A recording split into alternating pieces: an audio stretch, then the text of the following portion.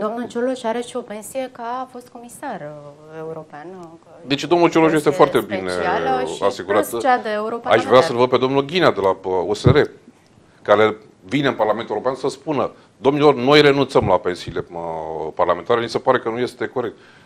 Noi trebuie să impozităm toate pensiile, indiferent uh, de ce categorie sunt.